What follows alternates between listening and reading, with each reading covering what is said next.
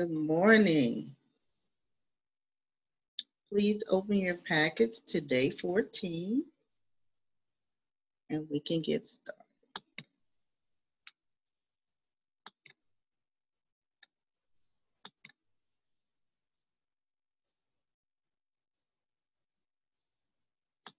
Okay, today we'll be interpreting graphs.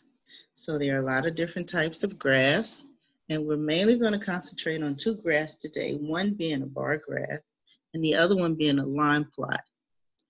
So I'll read the first one, which is an I do, and I'll give you a chance to work as I complete it.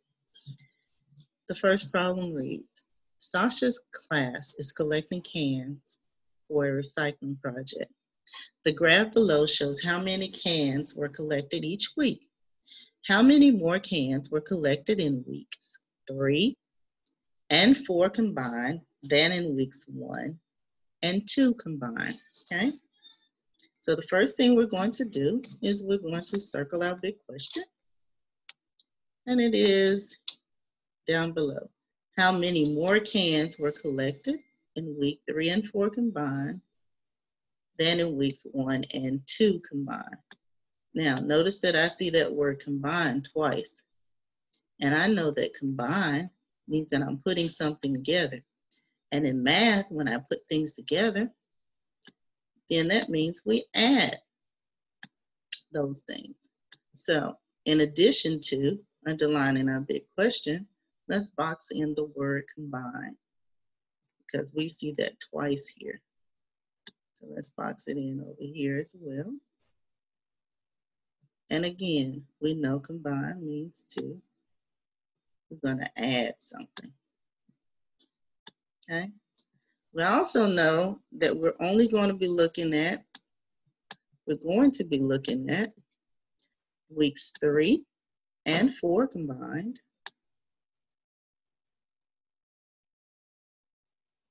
And we're also going to be looking at weeks one and two combined. Now let's take a look at our graph. We know that our graph always has a title and it always has labels. So the title of this particular bar graph is Can Collection. It is a bar graph that shows a title of number, I'm sorry, a label of number of cans collected on this side. So here our number of cans collected, our number line is in increments of two. Because if I start here, that's two. The next line is four, then six, then eight. And when I get here, that line would be 10. Above 10 is 12, 14, 16, 18, and then there's 20, 22, 24, 26, 28, 30, 32, 34, 36, 38, and then 40. So I know they're in increments of two, and this represents the number of cans collected. On this side of the graph, the bar graph, I have my weeks listed. Here I have week one, week two, week three, and week four. The first thing I must do is figure out how many cans were collected in week one. Well, I see my line is just a little bit above 10. And remember, they're in increments of 2. So the next notch above 10 would be 12. So week 1, I know, would be 12. So let's put a 12 there. So week 1 is 12.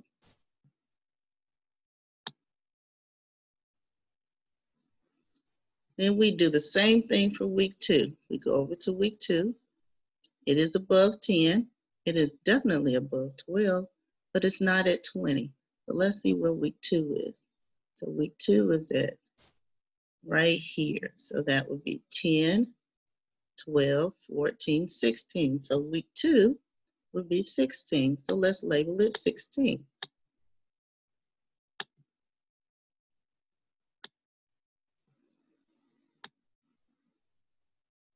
Okay, now let's go to week three. Week three is above 20, but it's below 30. So week three is about right here. So 20 is here, 22, and then 24. So week three would be 24. So let's label it 24. And then finally, we get to week four. Week four is right on the line of 30. So week four would be 30. Okay, so now we know how much was collected each week. Let's go back to our big question. We know it has how many more, and we know how many more means that there's going to be some subtraction. So let's box that in.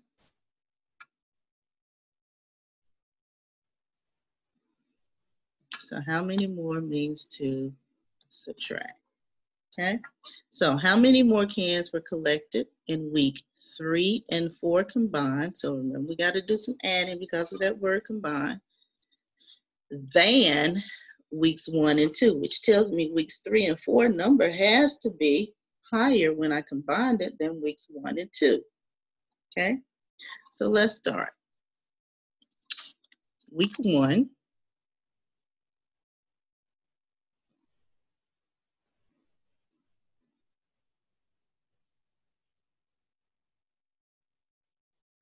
was 12.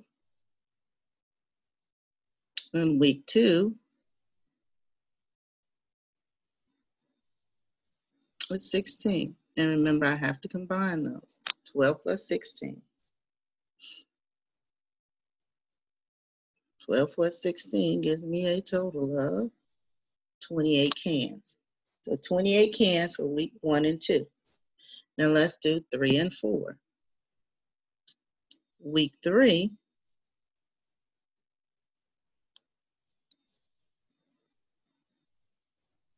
was 24, and week four is 30. And again, I have to combine that. So when I combine the two, I get 54. So 54 for three and four, because remember over here it says how many more were collected weeks three and four than one and two. So again, that confirms that this number here for week four should be higher. I'm sorry, the week, the number 54 should be higher than the number 28 here. So now, the next last thing it says is how many more. How many more tells me I'm going to subtract. So I'm going to take my 54 and I'm going to subtract 28 from it.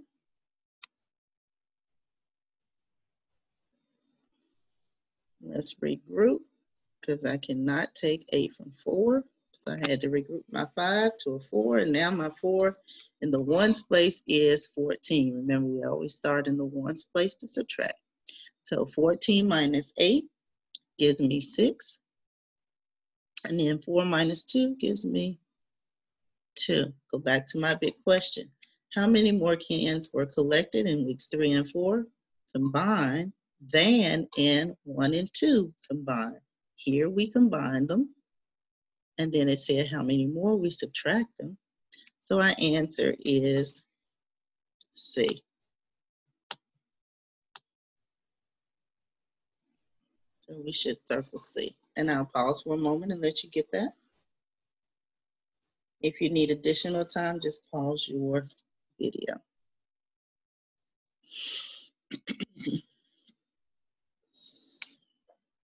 okay, let's go to your next question. Here are your answers again if you need to see them again.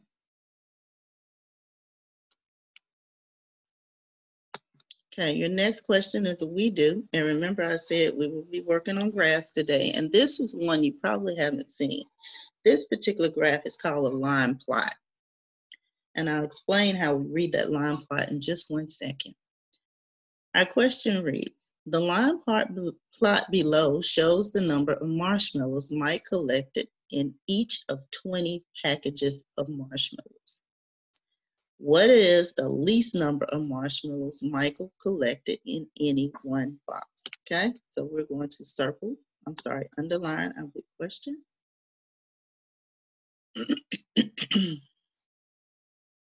okay, least has been capitalized. So you know that's important. And I know least means the smallest. So I'm looking for the smallest number.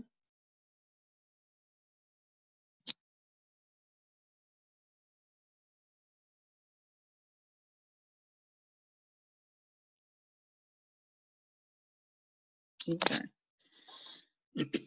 so remember, this is a line plot. And this line plot shows the number of marshmallows. And he had 20 packages. Well, each X represents a package. This is one, two, three, four, five, six, seven, eight, nine, 10, 11, 12, 13, 14, 15, 16, 17, 18, 19, and 20. So all 20 packages of the, of the marshmallows are on this line plot. The numbers 40 through 60 represent the number of marshmallows in each bag. So in this particular bag, there was one bag and it sits on, this is 40, 41, 42. So one bag had 42 marshmallows. 43, 44, two bags each had 44 marshmallows inside. 45, 46, one bag had 46 marshmallows inside. 47, 48, one, two, three bags had 48 marshmallows inside. 50, one, two, three, and five bags had 50 marshmallows each inside the bags. Then I go 51, 52. One bag had 52 marshmallows. Two bags here had 54. One bag had 56. One bag had 57. Two bags had 59. And one bag had 60. Okay? So that's how I read a line plot.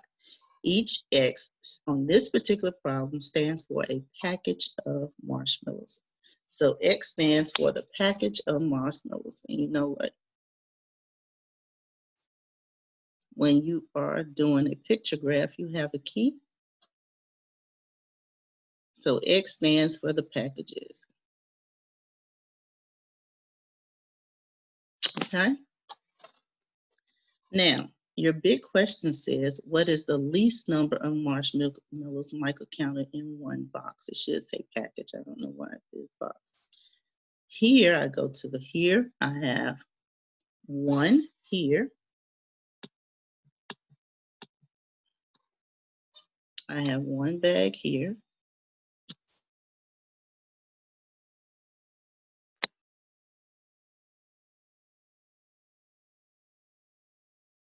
And I have an X on 42.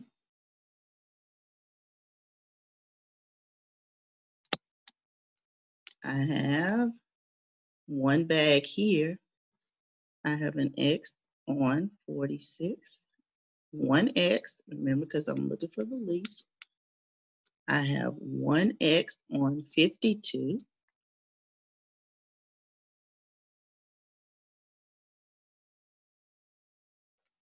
I have one X on 56. I have one X on 57. And I have one X on 60. Okay. It says, what is the least number of marshmallows Michael counted in any one box? The smallest number of all of these would be the number 40 two. So my answer right here, because it is the least, which means it is the smallest. So my answer for this particular problem would be 42. And basically it's just trying to see if you know how to read a line plot. So your answer for that is 42. So I'll pause and let you catch up. if you need additional time, just pause your video.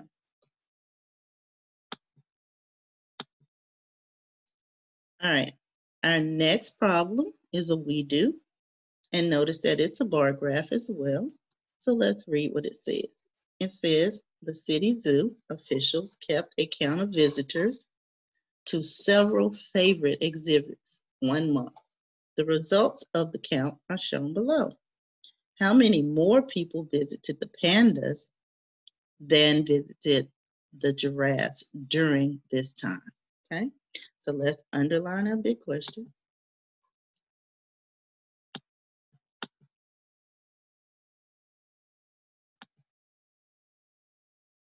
And our big question reads, how many more people visited the pandas than visited the giraffes during this month? Okay. Now remember, this is how we read a graph. A graph always has a label, and the label for this graph says one month visitor count. Then, I'm sorry, this is the title. The label says people in thousands. So on our number line over here to the left, 0,000, 12,000, 14,000, 16,000, 18,000, 20,000. In between, in the middle, 12 and 14 would be 13,000. So in between 12,000 and 14,000, 13,000 would be about there. Between 14,000 and 16,000, 15,000 would be there between 16,000 and 18,000, 17,000 would be about there. Between 18,000 and 20,000, in the middle would be 19,000. So keeping that in mind that it says in thousands. So make sure that you underline thousands. And I'll pause right there. Now let's go back to our big question. We're only looking at the pandas. Let's box in pandas. And the giraffes. Because that's all we have to worry about. So let's go over here. And let's circle pandas. And the giraffes.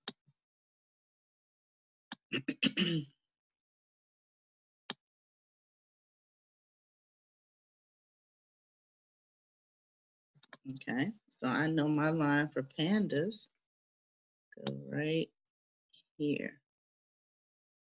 Okay, my line for the giraffes goes right here. Okay, now let's solve our problem. The pandas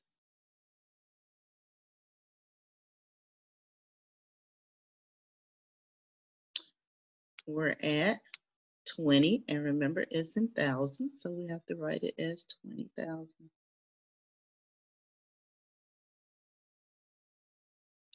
And I'll pause and let you catch up.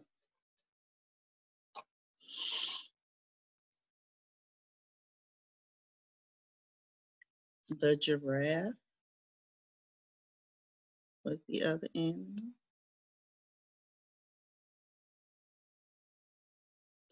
The giraffe is in between 12,000 and 14,000. So then that would be 13,000.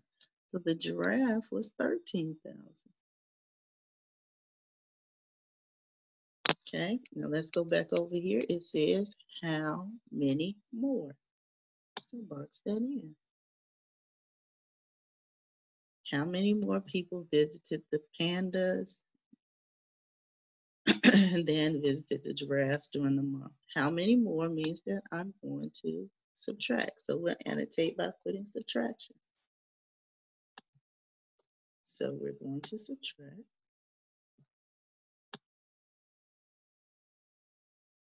And I'll pause right there and let you finish it.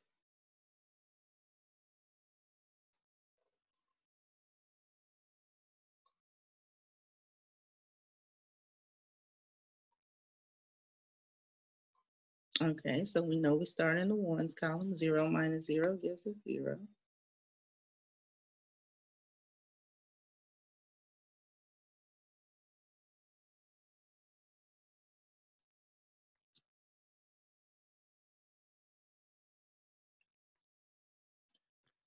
I don't know why my pen doesn't always want to write.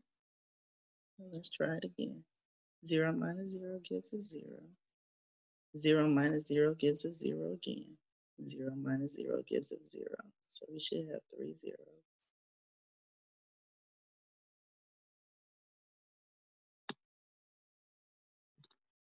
Okay. All right, so we know we can't subtract 3 from 0. So then we regroup the 2. It'll become a 1. And we'll take the 10 and add it to the 0, and that's how we get 10. Then now we can subtract 10 minus 3 gives us 7. And we put our comma, and our final answer should be 7,000. Go back over here. Notice that there's a 7 as A. That's why it's very important that you read your labels. It says people in thousands.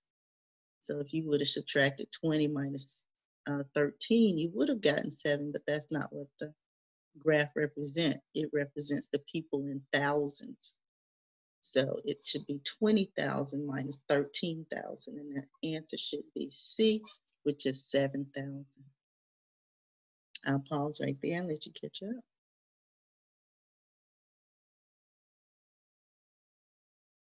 If you need additional time, please pause your video. All right, the next problems are your you-dos. And just remember that you read your titles and read your labels. Here it says number of students, so you just simply use the numbers that are here. And this is a very simple one because it's one through eight. Then down here, your other label is food, and it gives you what each one is, and this here would be a bar graph. So make sure you answer the big question, okay? Then go over here, this would be a line plot.